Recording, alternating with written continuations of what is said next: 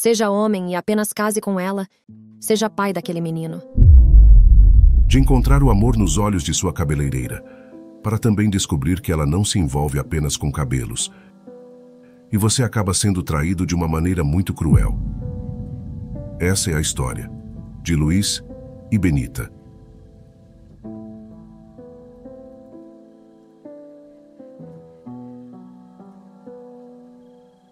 Acabei de passar por uma situação de vida terrivelmente difícil e, em vez de me sentir aliviado, a realidade se instalou e me sinto triste e melancólico. Por isso, decidi fazer esta postagem como terapia. Isso se trata de mim e minha ex-namorada, vamos chamá-la de Benita, e de mim, Luiz. Começamos a namorar há um pouco mais de dois anos e meio. Nos conhecemos quando ela estava cortando meu cabelo. Ela é uma cosmetologista de 26 anos de sucesso, ela tem sua própria cadeira e pia que aluga em um desses salões de beleza, junto com outros cosmetologistas independentes. Eu sou o gerente de operações e designer-chefe de uma empresa de paisagismo. Trabalho lá desde os 16 anos. Agora tenho 27 anos e adoro meu trabalho e meu chefe. A empresa estava passando por dificuldades e havia perdido muitos clientes e funcionários, então, aos 19 anos, meu chefe me pediu para assumir o cargo de gerente da equipe. Reconstruí rapidamente nossa equipe e comecei a recrutar novos negócios, pelos quais recebia uma taxa de localização. Hoje, nossa empresa está quatro vezes maior do que quando assumi. Tive tanto sucesso que o proprietário me deu 25% de participação acionária e 25% de propriedade operacional nos negócios, o que significa que divido os lucros e teria prioridade na compra dos negócios se eu quisesse. Ele sentia que sem mim, a empresa teria falido dentro daquele ano. De volta a Benita. Benita e eu nos conectamos porque ela era uma pequena empresária independente, trabalhadora e muito equilibrada. Ela também era econômica e bastante frugal. Ela não era o tipo de garota com quem eu saía até aquele momento. Embora fosse muito Benita, ela tinha uma constituição robusta, definitivamente não gorda, mas robusta. Não tenho nada contra mulheres robustas, apenas nunca havia namorado uma antes. Independentemente disso, logo nos tornamos muito próximos. Desde o início, disse a Benita que não estava procurando nada sério na época, já que estava focado em construir minha empresa. Também expliquei que não acreditava mais no casamento devido à taxa de divórcio e à forma como os homens são tratados nos tribunais. No entanto, disse que gostaria de encontrar uma mulher legal para construir uma vida e uma família. Ela disse que seus pensamentos sobre a vida eram muito semelhantes aos meus, mas ainda acredita no casamento com a pessoa certa, pois é algo que nossa comunidade e nossa religião acreditam fortemente. Somos ambos hispânicos americanos e católicos que frequentam a mesma igreja. A família de Benita é do estado de Veracruz, no leste do México, e minha família é de Sonora, no oeste do México. Seus avós emigraram para os Estados Unidos, enquanto meus pais vieram para cá. Nossas famílias se conheciam socialmente e conversavam em eventos da igreja, festivais da comunidade e coisas do tipo, mas não eram amigos próximos nem tinham outras conexões antes de nosso relacionamento. Inicialmente, nos víamos um dia por semana. Isso rapidamente passou para dois dias por semana, e nos últimos cinco meses de nosso relacionamento, passamos quatro a cinco noites por semana juntos antes da descoberta. Ambos decidimos que era importante ter algum tempo separados para nos concentrar em nossos negócios, amigos, e manter o desejo entre nós. Se eu tivesse que descrever nosso relacionamento em uma palavra, seria felicidade. Nos conectamos mental e fisicamente tínhamos personalidades muito semelhantes, simplesmente gostávamos um do outro. Benita morava em um apartamento com dois quartos com Katrina, que também era cosmetologista no mesmo salão. Eu não estava muito animado com Benita dividindo o apartamento com Katrina, já que Katrina gostava de festas e sair para bares, boates e lugares noturnos. Benita, por outro lado, é uma bebedora social ou nem bebe, e não sai para bares ou boates. Katrina até cortou meu cabelo uma vez antes de eu conhecer Benita, ela até tentou me conquistar, mas não era o meu tipo de mulher, já que não gosto de pessoas que bebem e frequentam clubes. Eu tinha medo de que os hábitos dela influenciassem Benita, mas, felizmente, isso nunca aconteceu. Com o tempo, a amizade delas começou a se perder, e elas não estavam mais se divertindo juntas, então Katrina se mudou há seis meses. Ela também mudou seu salão para outro lugar. Para ser sincero, fiquei aliviado, e Benita ficou bem em cuidar do aluguel e apreciou ter o apartamento só para ela. Eu moro em um prédio comercial convertido nos fundos da propriedade dos meus pais. Quando meu pai comprou sua primeira casa, ele queria o máximo de terreno possível para plantar vegetais e árvores frutíferas. As casas em nosso bairro eram baratas na época, na verdade, algumas podiam ser compradas por menos de 40 mil dólares. Meu pai comprou nossa casa e os quatro lotes vazios, dois de cada lado, onde as casas foram demolidas por menos de 50 mil dólares. Portanto, temos uma propriedade enorme, e nosso quintal é enorme. A propriedade na rua atrás da nossa casa pertencia a uma empresa de utilidades públicas que não a utilizava mais. A propriedade tinha um prédio antigo de tijolos que foi construído super sólido, há quase 100 anos, pois precisava suportar cargas pesadas. A empresa de utilidades públicas desocupou a terra e o prédio, e meu pai comprou barato. Ele me deu o prédio e a terra, e eu transformei em um plano de piso aberto com um loft e uma garagem interna. É o prédio mais legal de nosso bairro na cidade. Além disso, o paisagismo em toda a nossa propriedade é de primeira qualidade, pois, é claro, é minha paixão. Nosso bairro desde então se tornou mais sofisticado, então nossas casas valem muitas, muitas, muitas vezes o que meu pai inicialmente pagou por elas. Desculpe pelo desabafo, mas tenho muito orgulho de meu pai e minha mãe por suas realizações. Em setembro passado, meu pai, meu irmão e um dos meus primos foram para a área de Hermosilo passar um tempo com meus avós, eles planejaram fazer alguns reparos na casa deles e visitar nossa família estendida no lado do meu pai, todos os quais moram naquela área. Tínhamos planejado essa viagem por mais de um ano, e cada um de nós agendou férias com nossas empresas. Embora eu estivesse animado para ir, estava apreensivo em deixar minha Benita por tanto tempo. Portanto, decidimos conversar, mandar mensagens e fazer videochamadas todos os dias para não nos sentirmos tão solitários longe um do outro. A viagem foi incrível, e o tempo passou voando. Quando voltei, Benita e eu retomamos de onde paramos. Nossa conexão continuou a crescer, e nosso relacionamento estava muito forte, a ponto de eu começar a repensar minha posição sobre o casamento várias semanas após o retorno da viagem. Percebi que Benita parecia estar mais cheia no corpo do que o normal, e o rosto dela parecia estar corado. Não me importei com essas coisas, pois a tornavam ainda mais Benita para mim quando estávamos juntos fisicamente.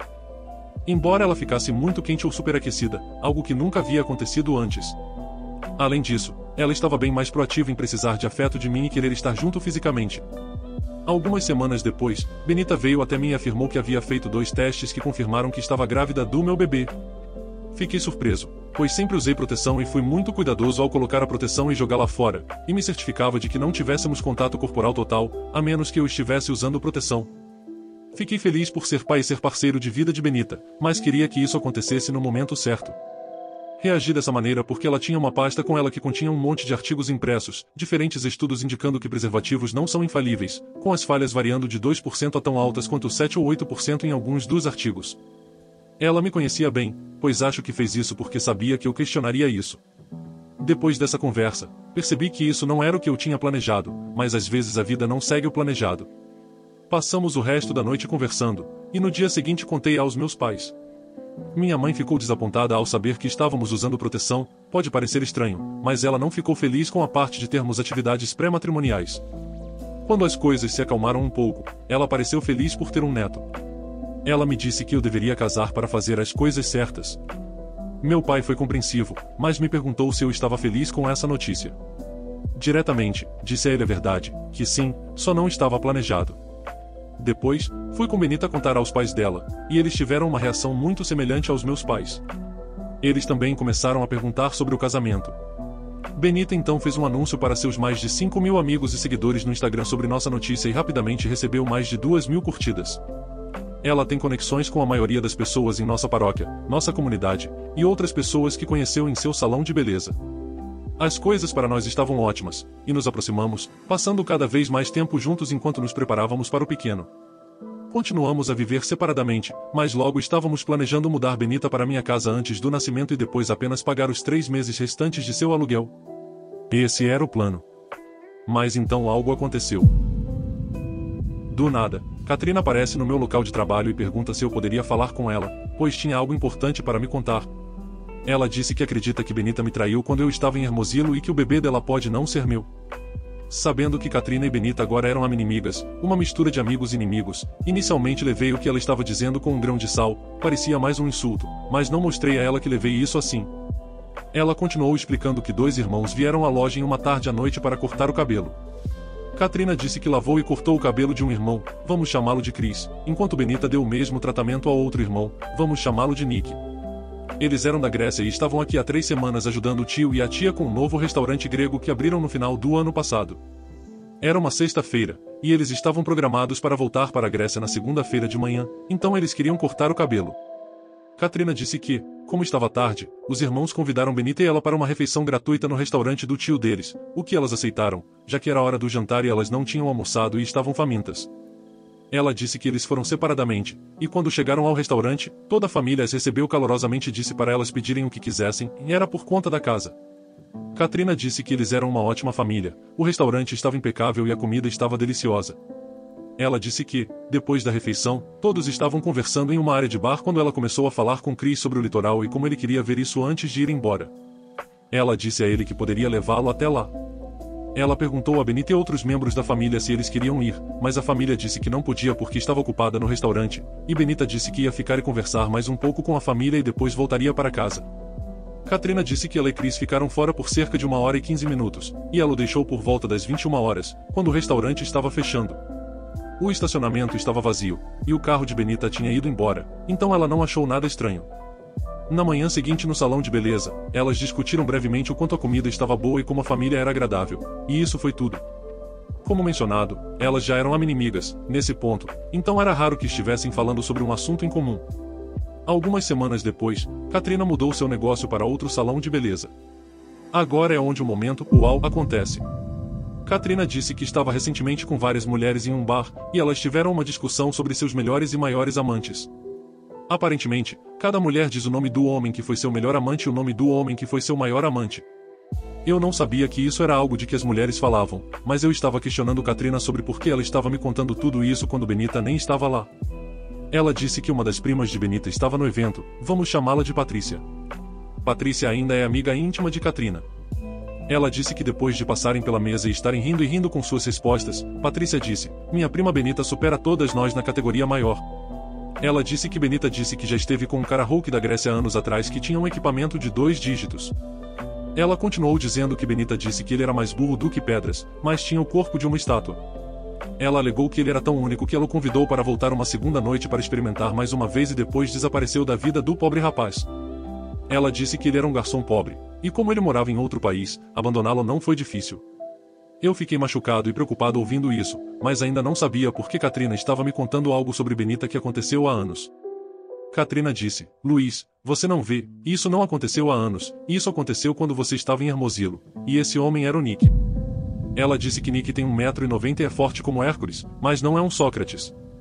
Katrina então disse que o resto das pessoas do grupo, incluindo Patrícia, não sabiam sobre o jantar que ela e Benita tiveram com os irmãos, então ela apenas riu e se fez de boba, mas sabia que tinha que me contar essa notícia, já que eu deveria saber. Ela disse que Patrícia disse ao grupo que Benita afirmou que ninguém poderia se comparar ao Luiz, ou eu, e que eu era de longe o seu melhor amante e seu amor eterno. Nesse ponto, eu já tinha ouvido o suficiente e agradeci a Katrina por me informar, Sinceramente, em minha mente, ainda achava que ela estava mentindo só para sabotar nosso relacionamento por inveja. Antes de sair, ela me deu o número de telefone de Chris e disse: Ligue para ele, tenho certeza de que o irmão Nick contou a ele tudo sobre seus momentos com Benita. Naquela noite, fui até a casa de Benita, e compartilhamos uma noite agradável como costumamos fazer, mas a conversa com Katrina estava martelando minha cabeça. Eu não mencionei nada a Benita, pois não queria causar tumulto se tudo isso fosse uma grande mentira. Na manhã seguinte, a curiosidade falou mais alto, então liguei para o número do irmão, mas a ligação deu erro, ou o número estava desconectado, ou eu não disquei corretamente ou algo assim. Conforme a manhã avançava, minha cabeça estava cheia de informações que obtive na noite anterior, então decidi ir ao restaurante grego para um almoço tardio, por volta das treze e meia, e pensei que talvez pudesse conversar com o tio e explicar minha situação. Fui ao restaurante, e a comida estava ótima. Eu estava terminando minha refeição quando o tio veio até minha mesa e me agradeceu por elogiar o estabelecimento deles. Ele então disse: Vi o seu caminhão e vi que você faz paisagismo. Eu disse sim, e ele disse que gostaria de obter um orçamento para o paisagismo do prédio.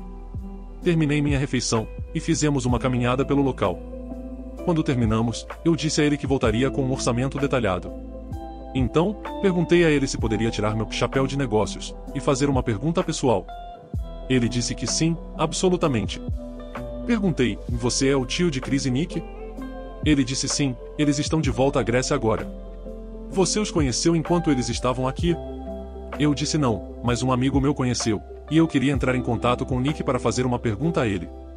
Ele me perguntou qual era a pergunta, pois ele poderia transmitir a informação para Nick. Eu disse: Eu gostaria de perguntar a ele se ele conhece uma mulher chamada Benita. O rosto do tio se iluminou, e ele disse que sim, sabe que Nick conhece Benita e que ele é muito doce com ela. Ela esteve aqui para jantar uma noite com uma amiga, e Nick e ela tiveram alguns encontros no fim de semana antes de ele partir. Ele disse que Nick pensava que eles estavam apaixonados, mas ela simplesmente ignorou as ligações e mensagens dele desde que ele voltou para a Grécia. Nick pensou que algo poderia ter acontecido com ela. Claro, foi angustiante ouvir essa informação. O tio então sugeriu que ligássemos para Nick juntos e me levou de volta ao seu escritório. Foi lá que ele ligou para Nick no viva voz antes mesmo de eu ter a chance de explicar mais. Nick respondeu rapidamente e disse algumas coisas em grego para o tio, e eles tiveram uma conversa de ida e volta que eu não entendia. Como você conhece Benita? Pode mandar uma mensagem para ela de Nick? Eu disse a eles: Não quero pegá-los de surpresa com esta informação, e não estou bravo com vocês, estou apenas triste agora, mas Benita é minha namorada. O tio ficou muito surpreso, e o choque estava estampado em seu rosto ao ouvir isso. Ele então começou a falar com Nick em grego por vários minutos e depois desligou lentamente o telefone. Ele disse: Sinto muito por isso, e Nick também. Ele não sabia que vocês eram casados. Eu disse a ele: Não estamos casados, mas somos um casal há mais de dois anos. Eu perguntei se Nick disse algo a ele sobre o relacionamento agora. Ele disse: Não, exceto que ele não sabia de mim, que sente muito por isso, e ele estava chateado por Benita não ter revelado isso. Ele disse que Nick está com o coração partido, pois queria entrar em um relacionamento sério com ela. Perguntei se Nick disse se eles foram íntimos, e o tio hesitou e disse: Eu preferiria não dizer. E então ele disse: Sinto muito por você em nome de Nick, de mim e de toda a minha família. Naquela noite, falei com Benita. Eu disse a ela que estive no restaurante grego e perguntei se ela tinha estado lá. Ela ficou surpresa e disse que, não, ele é bom? Eu disse que sim e disse que encontrei Katrina e ela disse que você e ela foram lá para uma refeição grátis. Benita disse: Ah, sim, eu lembro ganhamos uma refeição grátis por fazer um bom trabalho lavando e cortando o cabelo dos parentes do proprietário. Talvez eu devesse ter sido mais tático, mas eu simplesmente coloquei tudo na mesa e disse: Me conte sobre o seu relacionamento com o Nick. Ela disse: Com quem? Eu disse a ela: Nick, você sabe de quem estou falando. Você teve relações com ele naquele fim de semana? Ela disse: Do que você está falando? E estava ficando nervosa. Eu disse: Falei com Nick no telefone hoje, e ele confessou tudo o que você fez naquele fim de semana. Ela disse: Ele está mentindo, nós não fizemos nada. Eu apenas dei uma volta com ele na cidade no meu carro depois do jantar. O quê? Eu disse: Por que você não me contou isso antes? Eu não acredito em você. Você não disse às pessoas que ele era o seu maior amante e que eu era o seu melhor amante? Ela disse: Não, quem quer que tenha te dito isso está mentindo e apenas tentando nos separar por inveja. Eu disse a Benita que com base nesse incidente eu quero fazer um teste de DNA no bebê. Ela concordou rapidamente no início. Então eu disse, ok, vou marcar a consulta amanhã de manhã. Então ela disse não, não farei nada antes do nosso bebê nascer, mas farei o teste após o nascimento. Eu concordei, pois não queria deixá-la chateada, mas admiti que nosso relacionamento estaria sob pressão até então por causa disso e que não estaríamos morando juntos. Ela chorou, então eu disse a ela que estaria lá para apoiá-la durante a gravidez, não importa o que. Ela continuava dizendo que todos estão mentindo. Por que você não acredita em mim? Te amo mais do que qualquer coisa e nunca faria algo para te machucar assim, eu juro. No dia seguinte, Benita fez uma postagem no Instagram dizendo que pessoas mal intencionadas estavam tentando arruinar nosso relacionamento, e que Luiz, eu, estava hesitante em ser pai. Ela pediu orações e recebeu mais de 1.700 curtidas. Quando descobri essa postagem, pedi a ela para apagá-la, pois não era verdadeira, e ela a excluiu. Mais tarde naquela noite, Katrina fez uma postagem dizendo que ninguém estava causando problemas para Benita, que ela mesma estava fazendo isso e não estava dizendo a verdade a Luiz sobre o relacionamento deles e o bebê. Essa postagem recebeu muitos comentários dramáticos e emojis de raiva. Quando descobri essa postagem, pedi a Katrina para apagá-la, e ela o fez, mas a notícia já estava se espalhando na comunidade de que Benita tinha me traído e que o bebê poderia não ser meu. A partir desse ponto até o nascimento, nosso relacionamento estava tenso e distante, Continuei a apoiá-la, como prometi, e gastei muito dinheiro em coisas para o bebê, como berços, carrinhos e afins. O bebê nasceu e eu estava no hospital e segurei o bebê, ele era lindo e eu chorei. Enquanto passava pela estação de berçário a caminho de sair, a chefe de enfermagem disse que tinha certidão de nascimento para eu assinar como pai. Discretamente, avisei a enfermeira que assinaria após fazermos o teste de DNA. Ela ficou surpresa e pediu desculpas, afirmando que Benita havia dito a ela para digitar meu nome na certidão de nascimento acima da assinatura do pai, e ela disse que corrigiria o documento imediatamente. Benita se recusou a fazer o teste de DNA no hospital e disse: Você não ama seu bebê? Ele é seu, você pode ver no rosto e nas características dele. Ele te ama e eu te amo mais do que qualquer coisa. Não me faça fazer esse teste e quebrar nossa confiança e arruinar nossa família. Eu disse a Benita que precisava ter certeza, mas ela não cedeu. Naquela noite, ela postou uma foto dela e do bebê no Instagram com uma camiseta no bebê que dizia: Menino do papai. Ela tinha uma legenda dizendo: Papai me ama, mas está com medo de ser pai. Por favor, orem por nós. A postagem rapidamente recebeu mais de 500 respostas antes de eu vê-la e liguei para ela para tirá-la do ar novamente. O que ela fez? Meu chefe sugeriu que eu a levasse ao tribunal para obter uma ordem judicial para o teste de paternidade. Ele me conectou a um advogado, conversamos e ele iniciou o processo. Eu não queria recorrer a isso, mas Benita não me deu escolha. No tribunal, o juiz perguntou por que estávamos pedindo isso. Meu advogado declarou que eu queria ter direitos de custódia da criança, se fosse realmente minha. Benita estava no tribunal sem um advogado e disse que me daria voluntariamente 50% de direitos de custódia da criança sem um processo ou teste. É claro que ela faria, isso seria ridículo.